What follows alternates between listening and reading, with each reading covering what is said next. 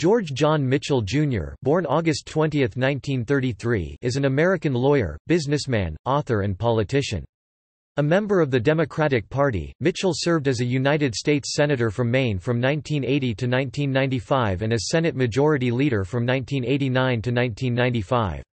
He briefly served as a United States District Judge of the United States District Court for the District of Maine from 1979 to 1980. Since retiring from the Senate, Mitchell has taken up a variety of positions in politics and business.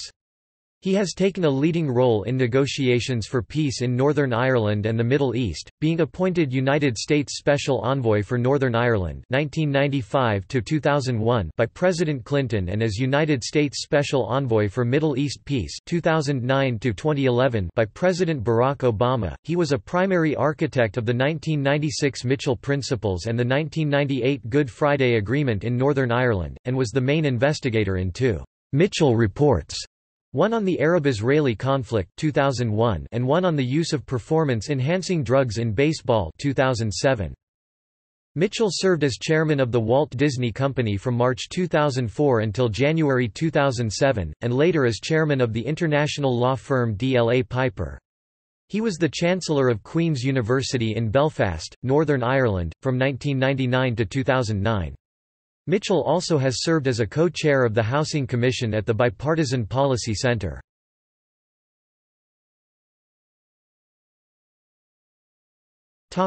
Early life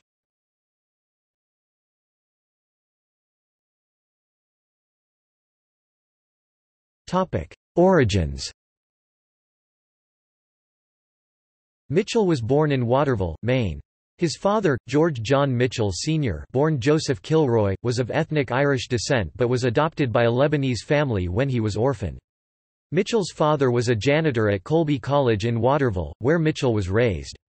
Mitchell's mother, Mary Saad, was a textile worker who emigrated to the United States in 1920 from Bkassine, Lebanon, at the age of 18. Because of his origin, Mitchell is recognized as a prominent Lebanese American. Mitchell was raised a Maronite Catholic and in his childhood served as an altar boy at St. Joseph's Maronite Church in Maine. Throughout junior high school and high school, Mitchell worked as a janitor. In a family of five children, all three of Mitchell's brothers were athletes and though a talented student, as a child, he found himself overshadowed by his brother's athletic achievements.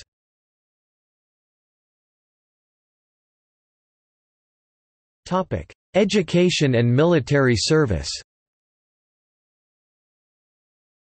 After graduating from high school at the age of 16, Mitchell attended Bowdoin College in Brunswick, Maine, where he worked several jobs and played on the basketball team. He graduated with a Bachelor of Arts degree in 1954, intending to attend graduate school and then teach, but instead served in the United States Army from 1954 to 1956, rising to first lieutenant.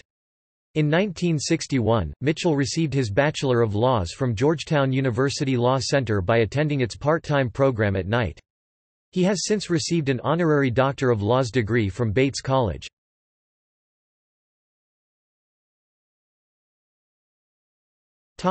Political career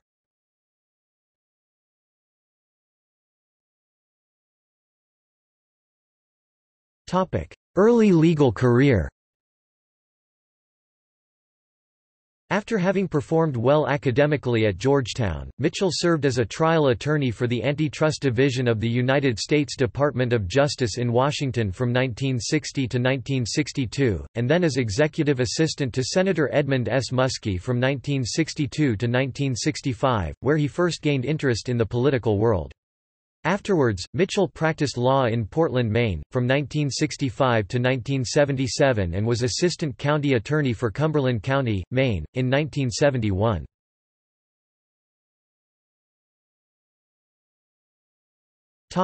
From judge to senator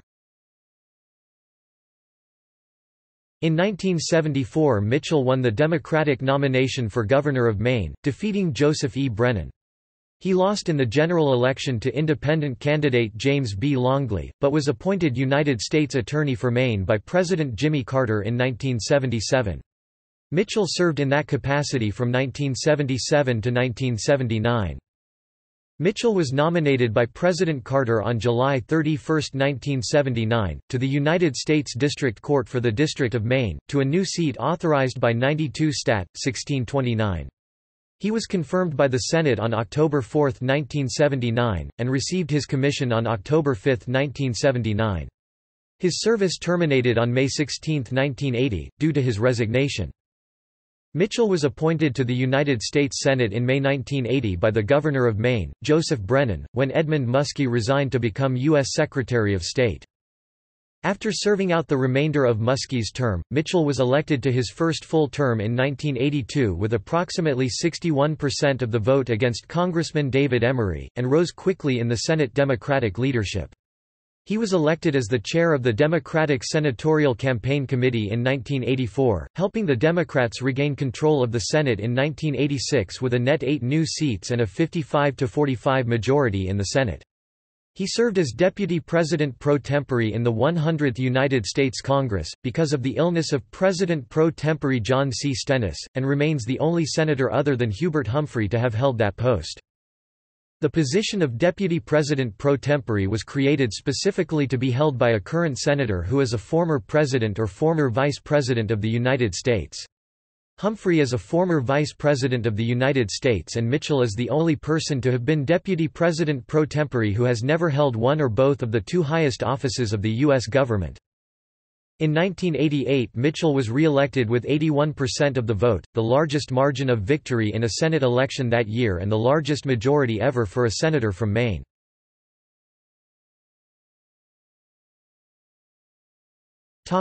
Senate Majority Leader Mitchell served as Senate Majority Leader from 1989 to 1995. While in this role, Mitchell led the movement to reauthorize the Clean Air Act in 1990 and pass the Americans with Disabilities Act of 1990. Additionally, under his leadership, the Senate approved the North American Free Trade Agreement and the formation of the World Trade Organization. In 1994, he turned down an offer of appointment by President Bill Clinton to the United States Supreme Court, to replace the retiring Harry A. Blackmun so that he could continue helping with efforts in the Senate to pass significant health care legislation.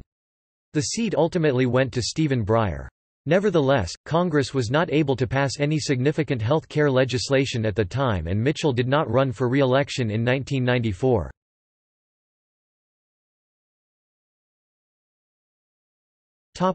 Political leanings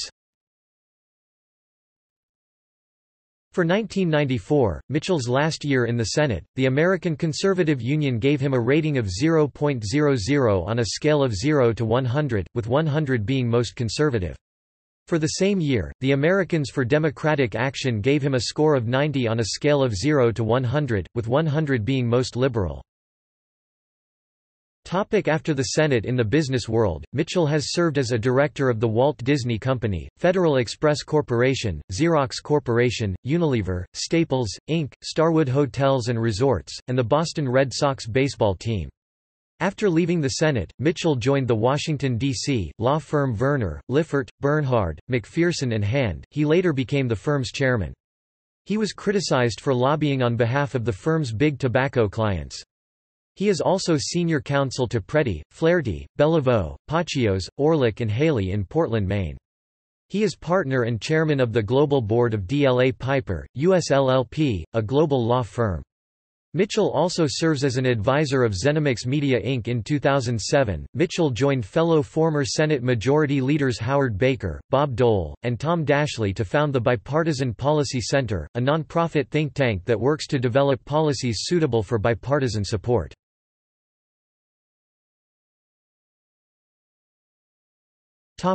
Democratic politics Mitchell was reportedly among those considered by Al Gore as a running mate for his 2000 presidential run, but Gore selected Joe Lieberman.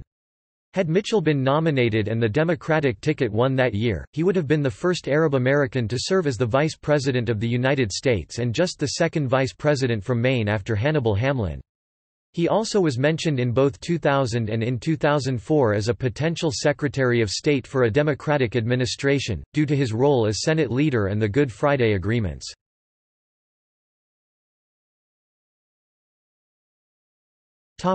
Education Since 2002, Mitchell has been a senior fellow and senior research scholar at Columbia University's Center for International Conflict Resolution, where he works to help end or avert conflicts between nations. He was the Chancellor of the Queen's University of Belfast, Northern Ireland, until his resignation in April 2009, and namesake of the George J. Mitchell Scholarship, which sponsors graduate study for 12 Americans each year in the Republic of Ireland and Northern Ireland. He is the founder of the Mitchell Institute, in Portland, Maine, whose mission is to increase the likelihood that young people from every community in Maine will aspire to, pursue and achieve a college education.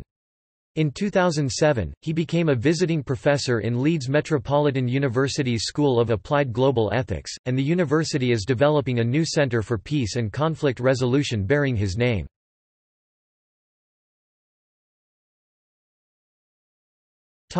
Mitchell Report Arab-Israeli conflict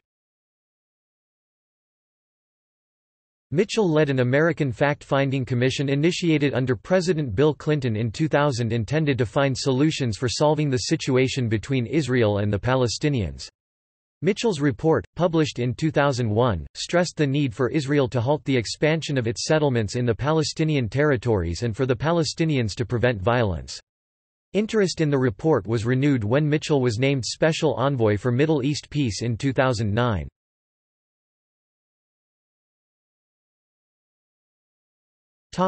United Nations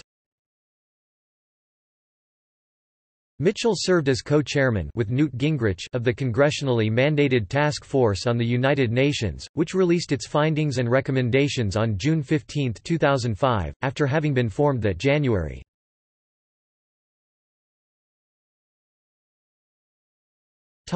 World Justice Project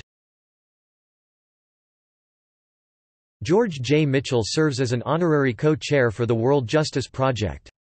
The World Justice Project works to lead a global, multidisciplinary effort to strengthen the rule of law for the development of communities of opportunity and equity.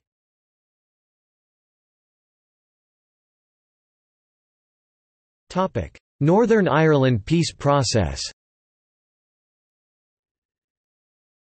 Since 1995, Mitchell has been active in the Northern Ireland peace process, having served as the United States Special Envoy for Northern Ireland under President Bill Clinton. He first led a commission that established the principles on non-violence to which all parties in Northern Ireland had to adhere, and then chaired the all-party peace negotiations, which led to the Belfast Peace Agreement signed on Good Friday 1998 known since as the Good Friday Agreement. Mitchell's personal intervention with the parties was crucial to the success of the talks. He was succeeded as special envoy by Richard Haass. For his involvement in the Northern Ireland peace negotiations, Mitchell was awarded the Presidential Medal of Freedom on March 17, 1999 and the Liberty Medal on July 4, 1998. In accepting the Liberty Medal, he stated, I believe there's no such thing as a conflict that can't be ended. They're created and sustained by human beings. They can be ended by human beings. No matter how ancient the conflict, no matter how hateful, no matter how hurtful, peace can prevail. Topic Chairman of Disney On March 4, 2004, Disney's board of directors, on which Mitchell had served since 1995, named him Michael Eisner's replacement as chairman of the board after 43% of the company's shares were voted against Eisner's re-election 35% was the minimum for disposal. Mitchell himself received a 24% negative vote, a fact that led dissident Disney shareholders Roy E. Disney and Stanley Gold to criticize the appointment of Mitchell, whom they saw as Eisner's puppet. Having already served on the boards of such companies as Xerox, Starwood, FedEx, and Staples, Mitchell assumed his new role at a particularly tumultuous time in the company's history, needing to face such issues as Comcast's hostile takeover attempts and a possible split with Pixar. Mitchell played an important role in the selection of Robert A. Iger as Eisner's successor as CEO in 2005. On June 28, 2006, Disney announced that its board had elected one of its members, John Pepper Jr., former CEO of Procter & Gamble, to replace Mitchell as chairman effective January 1, 2007.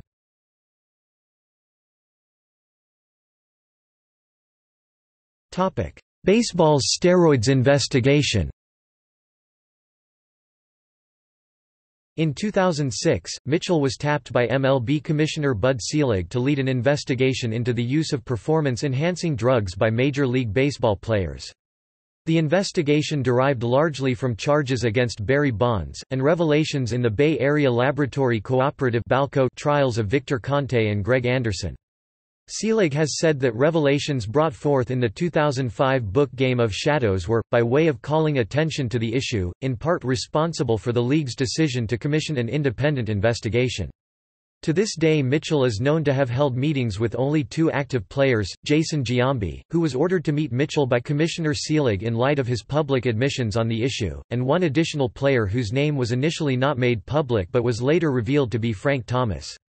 Mitchell did however hold extensive meetings with several known steroid dealers, club attendants, personal trainers, and others who had ties to all players named in the report. Even though the union that protects the players had pressured all but Giambi and Thomas into maintaining the culture of silence that had helped the drug problem remain a secret, there was plenty of other evidence against those named in his report.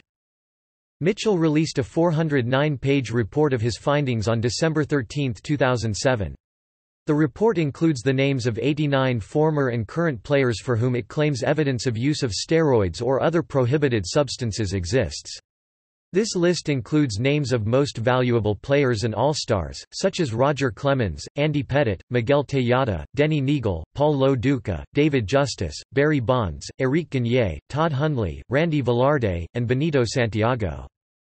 Mitchell was criticized for having a conflict of interest with the report as he was a director of the Boston Red Sox, especially because no prime Red Sox players were named in the report, despite the fact that Red Sox stars David Ortiz and Manny Ramirez were later accused of using performance-enhancing substances during the 2003 season, as reported by The New York Times on July 30, 2009.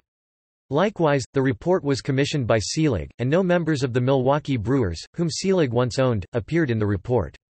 The Los Angeles Times reported that Mitchell acknowledged that his tight relationship with Major League Baseball left him open to criticism. Mitchell responded to the concerns by stating that readers who examined the report closely will not find any evidence of bias, of special treatment of the Red Sox.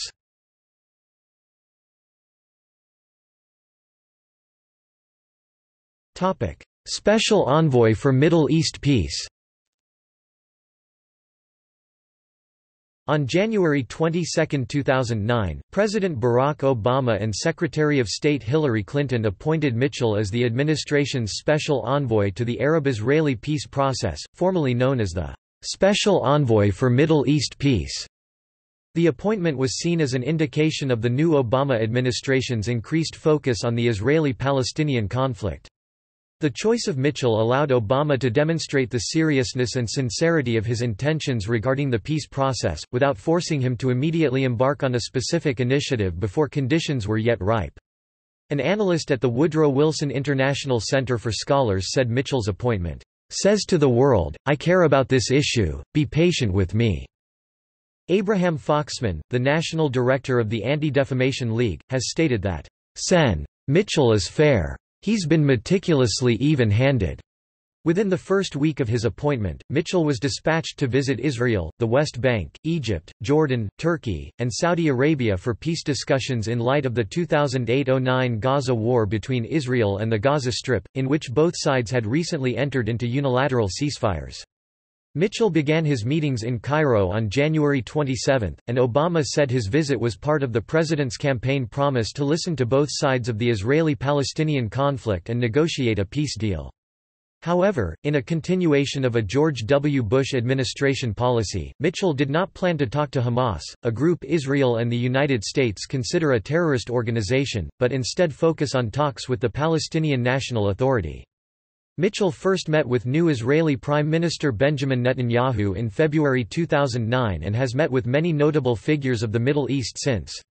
In 2010, he led the U.S. delegation to the Palestine Investment Conference. On May 13, 2011, George Mitchell tendered his resignation from the post of Special Envoy to the Middle East. Obama praised Mitchell, stating, his deep commitment to resolving conflict and advancing democracy has contributed immeasurably to the goal of two states Israel and Palestine living side by side in peace and security.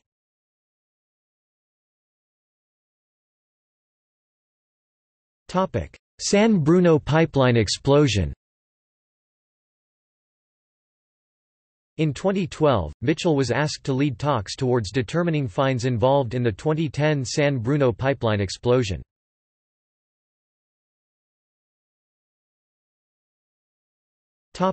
Personal life Mitchell was married for 26 years until he and his wife, Sally, divorced in 1987. They had a daughter, Andrea.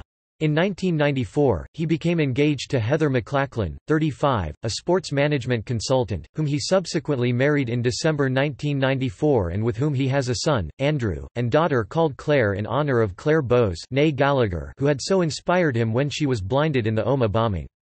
In 2012, he visited Northern Ireland with his son the same age as Claire was when she was blinded and Claire was told that he had named his daughter after her because he always remembered her. Mitchell was diagnosed with a small, low-grade, and localized prostate cancer in 2007.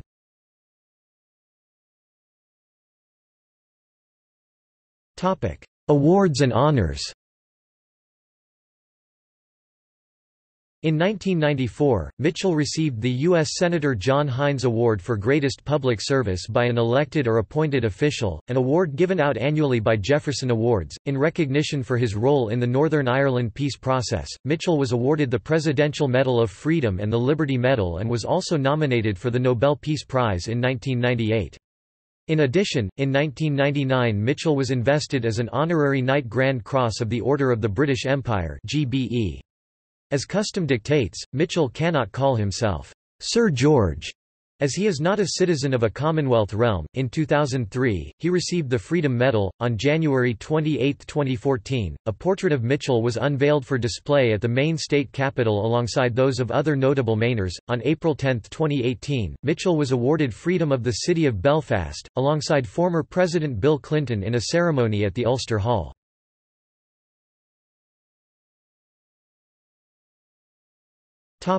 Books.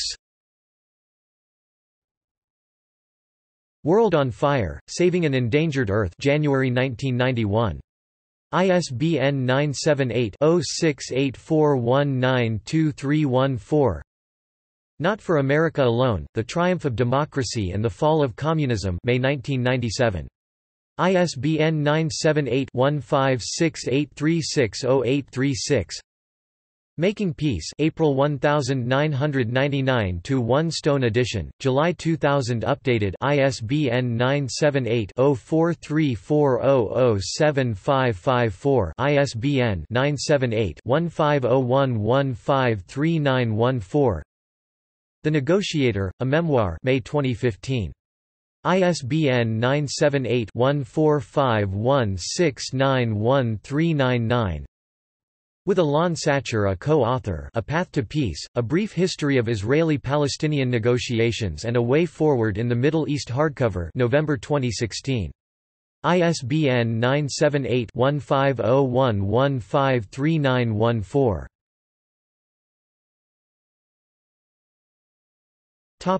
See also Bill Clinton Supreme Court candidates